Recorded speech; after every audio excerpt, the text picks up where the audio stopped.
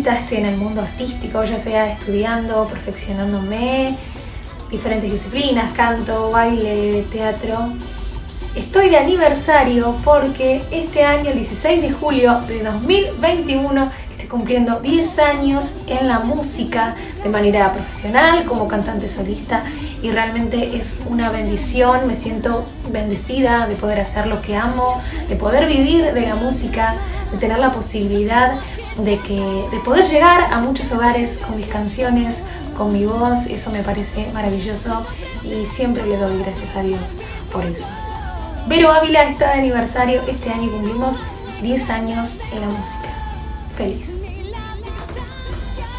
Realmente es muy loco porque mm, si me preguntaban cuando era chiquita qué quería ser de grande, yo les iba a responder que quería ser como Talía, quería ser una actriz que cante y que baile.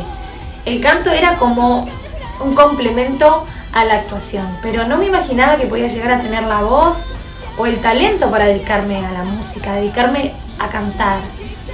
Pero bueno, ahora me pongo a pensar las cosas que hacía cuando era chica y por ejemplo antes de, aprender a escribir, me gustaba componer ya desde muy chiquita y como no sabía escribir, lo guardaba, eh, lo grababa en, en un equipo, un cassette, grababa diferentes melodías, canciones, luego hacía los coros y en otro equipo grababa todo junto, la voz principal y los coros. Imagínense que era muy pero muy chiquita y sin darme cuenta ya comenzaba esa pasión por, por la música, esta pasión por crear, por componer, porque siempre lo digo, amo cantar, pero a la misma vez también amo componer, amo contar historias, experiencias, vivencias, realmente llegar al corazón de la otra persona, que la otra persona se siente identificada con lo que escribí. Realmente es una pasión y fue mi primer pasión, si ahora me pongo a pensar esto de, componer y, crear canciones. Pero jamás me imaginé que, que me iba a dedicar de lleno a la música. La vida me sorprendió y, y, me siento afortunada, afortunada por eso. Ya era el destino, tenía que dedicarme a la música.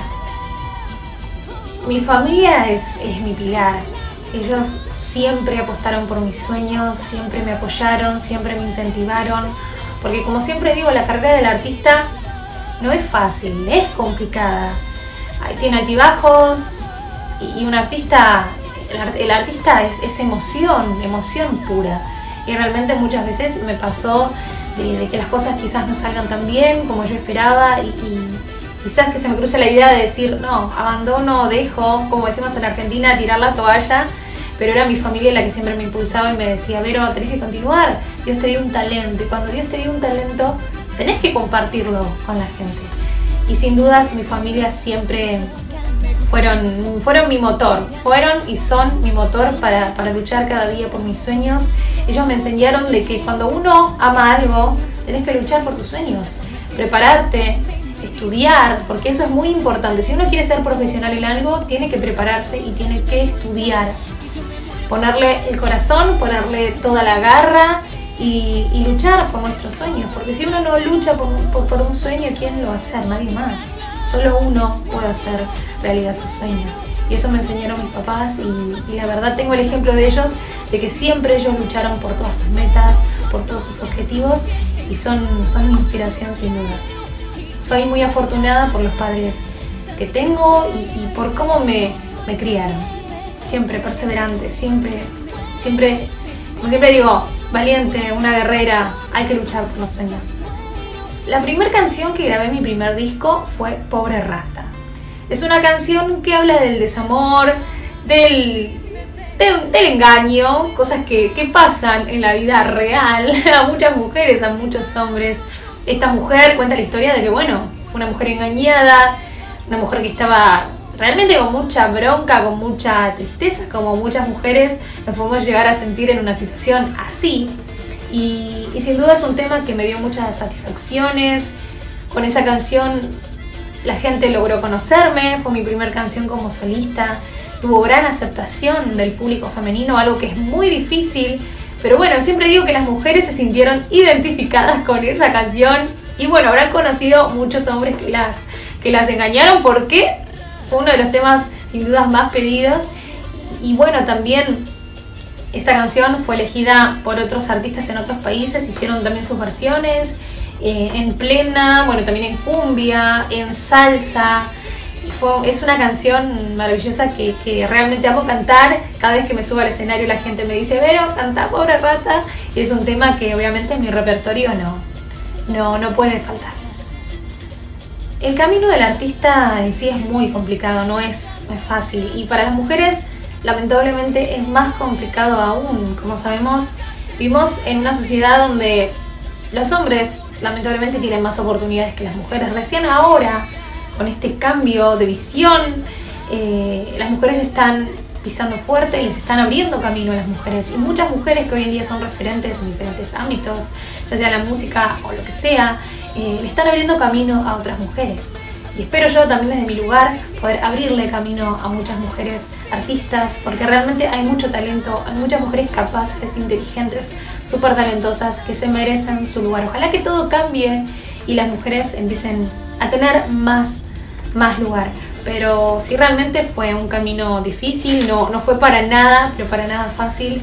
Era golpear puertas, que te digan que no, que no, que no, que no. Pero cuando uno tiene la meta bien en claro, no existen los imposibles.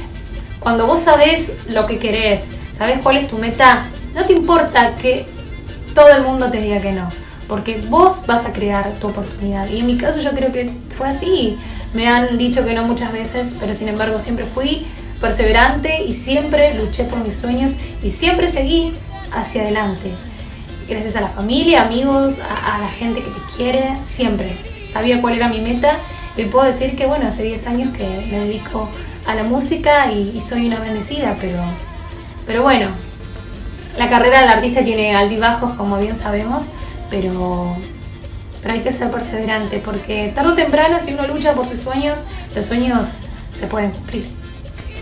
Y como les contaba hace un rato, desde muy chiquita, recuerdo que todavía no sabía escribir y me gustaba crear, amaba crear canciones.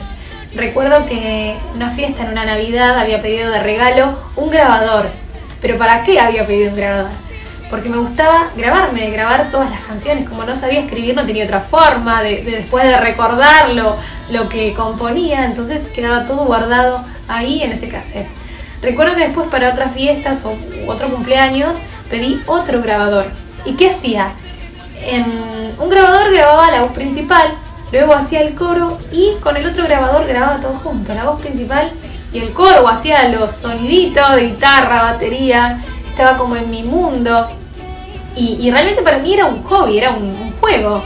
Pasaba horas y horas y horas encerrada, grabando, componiendo, sin imaginarme que, bueno, años después me iba a dedicar de lleno a la música, que iba a ser un trabajo para mí y realmente es una pasión componer. Amo, amo cantar, pero a la misma vez amo componer, amo crear. Yo en los discos estoy en lo que es la producción, eh, creando, eh, no solo las letras, sino en la parte de la producción musical, con los sonidos, me gusta innovar, realmente estoy muy encima de todo lo que hago en mis videos también, me gusta, dirijo también mis videos, todo, todos los videos que hice hasta ahora son todos ideas de que salían de mi cabeza.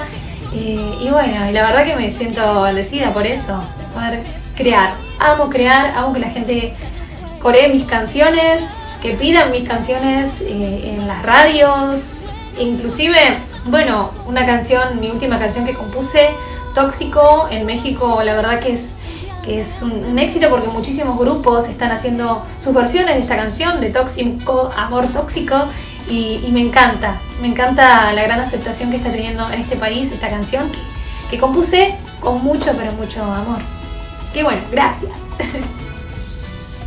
en mi primer disco no me animé a mostrar mis canciones. Hicimos muchos temas inéditos, algunos covers, pero en el siguiente disco ya me animé a mostrar mi faceta como compositora ya dije, chicos, estas son mis canciones, espero, espero que les guste, espero que, sirvan, que a la gente les guste. Y no dudaron, las escucharon y me dijeron, Vero, dale para adelante, como decimos en Argentina, Vero, aposta tus canciones, no hay nada más lindo eh, que un artista no solo interprete canciones de otros, sino que además interprete sus propias canciones, ser cantautora.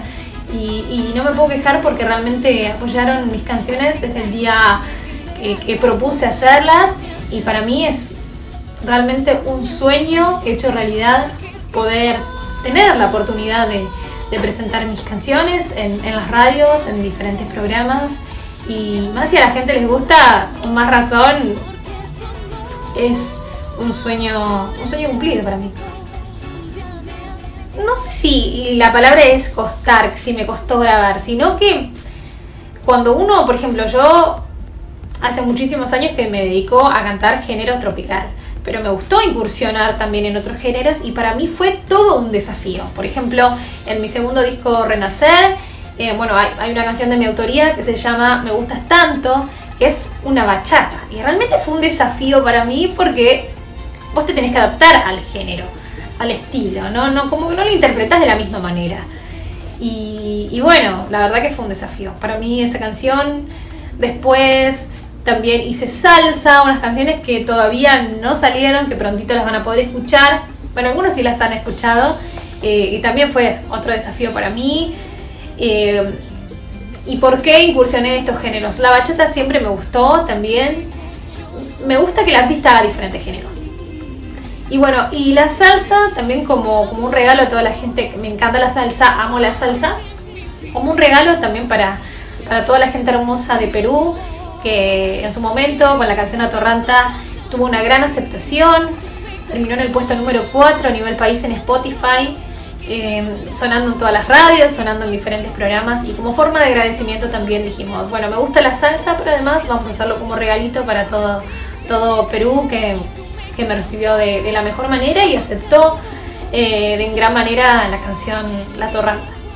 Mariposas es una canción muy especial. Si bien amo todas las canciones de mi último disco, Mariposas es una canción realmente muy linda, es una canción triste, por así decirlo. Cada uno puede escuchar la canción y puede recordar a una persona, a una persona que ya no está, una, una relación que no pudo ser. Te deja volar la letra de la canción sin dudas. Y, sí, que es una fusión, es una fusión de, estilos. Me gusta esto de, de, no ser siempre las mismas canciones, el mismo estilo, sino que en cada disco ir superándome, ir evolucionando, ir cambiando, eh, sorprender a la gente eh, con cada disco que, lanzo. Y bueno, esta canción queríamos que sea una canción con mucho sentimiento en la interpretación, las melodías también, pero que sea una canción que uno, que uno la puede bailar, que uno la puede disfrutar. Y creo que logramos lo que buscábamos con esa canción. Tuvo una gran aceptación de la gente y bueno, prontito, si Dios quiere, vamos a estar presentando el videoclip oficial, que es muy pedido por la gente. Me dicen, Vero, tenés que lanzar el videoclip y bueno, con el tema de la cuarentena, la pandemia, se complicó un poquito, pero que ya, bueno, gracias a Dios que ya está volviendo toda la normalidad, por así decirlo. Vamos a lanzar muy pronto el videoclip de Mariposas, que obviamente esperemos que, les guste a todos. Me acostumbré, es una canción preciosa, también es otra de mis preferidas. Era una balada en realidad, pero bueno, después lo, lo adaptamos a cumbia y no quería que pierda el estilo de, de baladita, lento, triste. Quería que tenga melodías muy tristes, que vos escuches esa canción y digas, ay, por Dios, recuerdes a esa persona y sientas. Porque cuando compuse esa canción realmente sentía eso, venía de, una relación que, no pudo ser y, y bueno, plasmé en una letra todo lo que sentía en una canción. Y es una de las canciones que, que sin dudas más me gusta cantar y, sí, tiene una melodía triste, pero también bailable a la misma vez, porque me gusta eso, me gusta hacer una canción que uno puede bailar, que uno puede disfrutar y puede ser la letra quizás muy triste, la letra muy triste, pero es una canción muy, muy hermosa y bueno, es una canción de, de mi autoría. ¿Qué me diferencia de otras artistas?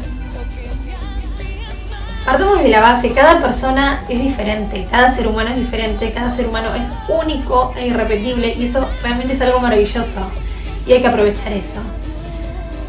No, no me gusta compararme con otros artistas, trato de pensar en mí, trato de seguir creciendo, de, de, ir sorprendiendo a la gente, como ya lo dije en cada video, en cada canción, en cada disco, en cada presentación, en los shows en vivo. me gusta, mm, me gusta, como ya les decía también, esto de fusionar estilos, em, me gusta, bueno, mostrar mis canciones, mostrarme como, como autora, em, me gusta bailar, mostrar todas mis facetas porque realmente estudié toda mi vida para ser una, una, artista completa y me gusta mostrarlo en el escenario. Me van a ver cantando, me van a ver bailando, me gusta interpretar, me gusta sentir en los videoclips, me gusta mostrar mi faceta como actriz. Eh, en el show en vivo me gusta mostrar mi faceta como bailarina, como intérprete. En un estudio de grabación, obviamente, pura interpretación, puro, puro corazón y, me siento afortunada y bendecida de poder haberme formado como artista completa y poder mostrar todo lo que aprendí en, un show, en un video, en un disco. Y bueno, hay algo que me caracteriza, es siempre el buen humor. me gusta estar siempre, me gusta contagiar alegría. Creo que, que cada uno tiene una misión en la vida y mi misión es contagiar alegría, contagiar buena onda, algo lindo. Siempre buena vibra y que la gente note eso, de que Vero es diferente. Ya de por sí somos todos diferentes, pero la buena energía, la, buena onda, me gusta que sea una de mis características. y bueno, y en el show hacer bailar a la gente, que disfruten y que la pasen bien y que sea, como siempre digo, una fiesta. Lamentablemente vivimos en, una sociedad muy machista, de a poco está cambiando, yo sé que, que hay muchos hombres que apoyan el hecho de que la mujer tenga igualdad de oportunidades que los hombres y eso la verdad que está buenísimo, pero, pero bueno, cuesta y falta un montón todavía. Yo creo que en los últimos años las mujeres hemos levantado nuestra voz más fuerte que nunca, nos hemos unido, que eso es algo súper importante, la, la, unión de las mujeres, en el ámbito que sea, haz lo que hagas, unirnos, porque las mujeres son tan capaces como los hombres, eh, tan inteligentes, tan talentosas, y realmente no es justo que, que a una mujer le tenga que costar todo mucho más, cuando tiene muchísimo talento también. Pero, pero bueno, sí, realmente lo que es musical, sí, no, no hay igualdad de oportunidades. Recién ahora, gracias a Dios, gracias a Dios, hay muchas más mujeres en la música. Y como mujer siempre apoyo a que otra mujer eh, cumpla sus sueños, a incentivarlas, a apoyarlas. Vamos, que vos podés. Es difícil, es difícil porque nada cambia de un día para el otro. Sé que esto va a llevar muchos años, pero lo importante fue. Lo importante es eso, ayudarnos entre nosotras, que muchos hombres también entiendan que las mujeres se merecen su lugar. Se merecen su lugar como, como ellos. Cualquier persona que tenga talento, que tenga capacidad de inteligencia, se merece lograr y cumplir sus sueños. Es así. Y bueno, como les decía desde mi lugar, apoyar a las mujeres, incentivarlas, unirnos, porque creo que más que nunca tenemos que estar unidas para, seguir luchando, para ganarnos nuestro lugar, el lugar que, nos lo merecemos. Así que vamos mujeres, vamos a, seguir luchando por nuestros sueños, no importa cuántos no te digan. Si vos sabes cuál es tu meta, tu sueño, que nada ni nadie te detenga. Dios quiera que prontito pueda estar por su hermoso país. Yo quiero agradecer por esta entrevista, solo gruperas. Quiero agradecer a toda la gente hermosa de México por tanto cariño, por recibir también la canción Tóxico, Amor Tóxico, por darle tanto cariño.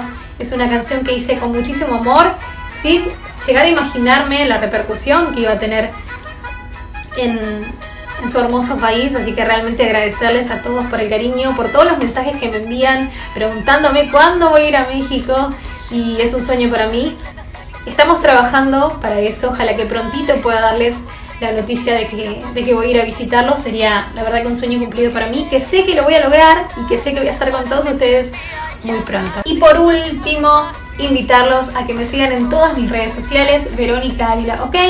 En Instagram, en Facebook y en YouTube todos mis videos, en Spotify toda mi discografía, todas mis canciones. Gracias por el cariño, que Dios los bendiga mucho. Y me voy a despedir con esta canción que ustedes están aceptando en gran manera y estoy más que agradecida. Tóxico, amor tóxico, y dice así. A ver si cantan conmigo. Porque tu amor es tóxico, un día me hace bien, un día me hace mal.